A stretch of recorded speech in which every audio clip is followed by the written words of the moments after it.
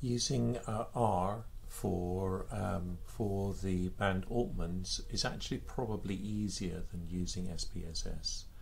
However, there are a number of things that we need to do first, which is install the, the package SimplyAgree. So we write the the command line uh, install package SimplyAgree. I will. This will throw an error because it's already um, already actually uh, installed and running. So yeah, it's thrown an error. But normally you just select the, the correct library and then um, it would then bring it in. You then need to use library to um, to actually make sure that it's working. Um, mine is already uh, already working, so I, I, don't need to do it again, and it may throw me an error again. Um, no, it hasn't. That's fine. Um, and then you create um, a, a variable with your data in it. So in this case, we'll create PD. So we need to uh, have the file project data in the the um, the documents file within your C drive, uh, where the um, the computer can find it, and then you do um, PD. So then you read in the data into PD um, and then attach PD.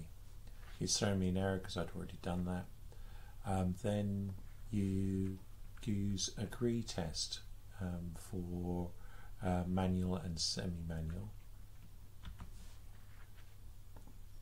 Agree test for manual and semi-manual. And then all you have to do is actually plot the actual result. So you can just do plot the PD uh, agree variable and it will give you the Bland Altman uh, form, the Bland Altman uh, graph. Last thing you want to do is, is read that out. You also will want the um, the the results from the Bland Altman, uh, the results from the agreement test. So PD dot uh, AGR will give you the, um, the the results and that will give you the limit of agreement at, at 95% confidence, the Shieh test um, and uh, uh, exact confidences, and the Bland Altman limits as well. Limits of uh, concordance uh, of uh, of limits. Uh, sorry, the concordance correlation coefficient is also available, um, which is very low for this data, and the bias is also explicitly determined by this work.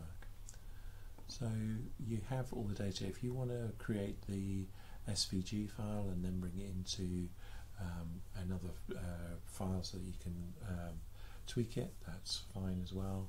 Um, and to do that, you would um, create it in the same way as this. And that creates the file that you can then look at and uh, use.